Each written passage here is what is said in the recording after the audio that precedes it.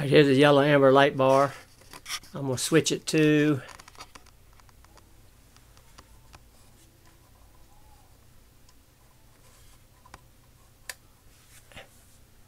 There you go. That's to the left. And we're going to go off. That's off. We're going to go the next way to the right. All right. And then we can got a we can do this right here. Flash. Just by pushing a button. This is a nice light bar. There's the controller. And you, of course, you're going to have to wire it up yourself.